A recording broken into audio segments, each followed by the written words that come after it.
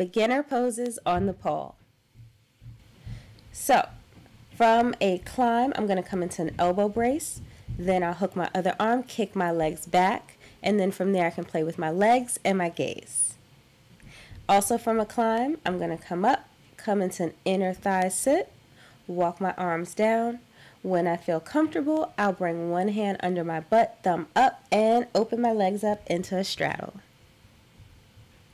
I can also, from that inner thigh sit, keep one leg up, the other one down, keep my hips up, and arch. I'm going to climb.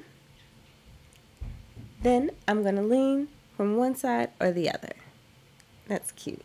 You can also weave your torso around and come into a sit, and from there you can also play with your gaze and your arms.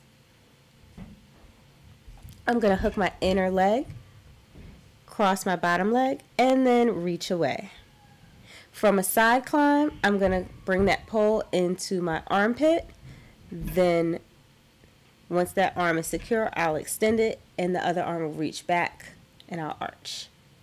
From a push-pull grip, I can open up into a straddle. In this one, I'm climbing. I'll come into an inner thigh sit.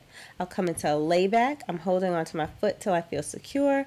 And then when I am, I'll release the arms.